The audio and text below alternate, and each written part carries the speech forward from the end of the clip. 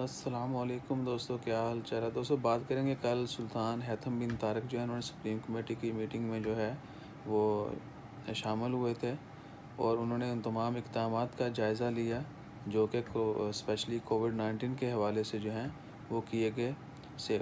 तो उनका मैसेज जो है, वो भी यही था कि हम अपने सिटीज़न जो हैं, इवन वो एक्सपर्ट्स हैं या लोकल हैं, उन सब की जो है, सेफ्टी, उन सब की हिफाजत जो है, उसको यकीनी बनाएँगे और जितने भी अच्छे और अच्छे इकदाम की, किया, कर सकते हैं वो वो किए जाएँगे। यानी उनका कहना था कि जितने भी इकदाम किए गए हैं, उनको उन्होंने अप्रिशिएट किया और वो उन्होंने कहा कि इनको मज़ीद हम जितना भी अच्छा कर सकते हैं, वो करेंगे।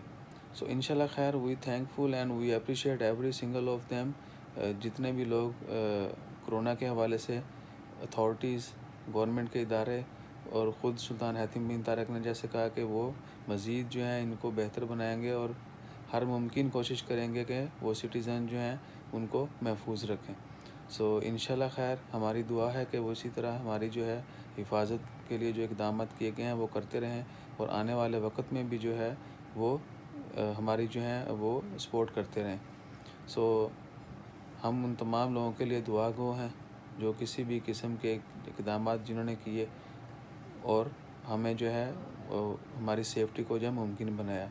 लेकिन बीमारी चूँकि बढ़ रही है, उसके लिए कुछ नए इकदाम भी करने की हदायत की गई हैं, जैसे कि लेबॉर्ट्रीज़ को जो है वो बढ़ाया जाएगा, उनके स्टैंडर्ड्स को बढ़ाया जाएगा और बाकी सेंटर्स जो हैं उनको भी बेहतर बनाया जाएगा। लेकिन साथ ही उनका ये भी कहना था कि आवाम जो है पब्लिक जो है, उसको भी थोड़ा सीरियस होना चाहिए। अभी तक इवन के इससे पहले मिनिस्ट्री ऑफ़ हेल्थ के मिनिस्टर जो हैं, वो बहुत दफ़ा कह चुके हैं कि आवाम जो है, वो सीरियस नहीं है। उसकी वजह से थोड़ी सी एहतियात नहीं करते हम लोग, इसी वजह से जो है, वो केसेस की तादाद दिन ब दिन बढ़ रही है। So please please understand the situation इस चीज़ को समझें, बीमारी को समझें। शायद हम उस वक्त तक एक्चुअली नहीं समझते जब तक वो पंजाबी कहते हैं ना कि राह प्या जाने या वाह प्या जाने। ना तो हम इस रास्ते से गुज़र रहे हैं, शायद इसलिए समझ नहीं रहे। ना हमारा इसे वास्ता पड़ा है, शायद इसलिए हम जो है ना इसको सीरियस नहीं ले रहे।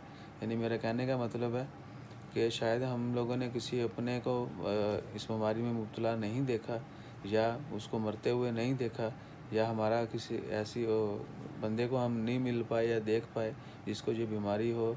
तो प्लीज़ समझिए, उन लोगों के दुख दर्द को समझिए, जो इस बीमारी में मुबतला हैं, उनके प्यारों को समझिए, जिन, जो लोगों को, अपने फैमिलीज़ को, अपने दोस्त अहबाब को छोड़ कर चले गए। तो खुदारा, थोड़ा सोचिए, अमल कीजिए। थोड़ी सी एहतियात जो है हमें बहुत बड़ी मुश्किल से, बहुत बड़े आसानी से जो बचा सकती है।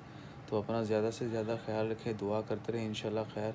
चैनल को सब्सक्राइब करना मत भूलिएगा। जजाकल्ला अल्लाह हाफिज़।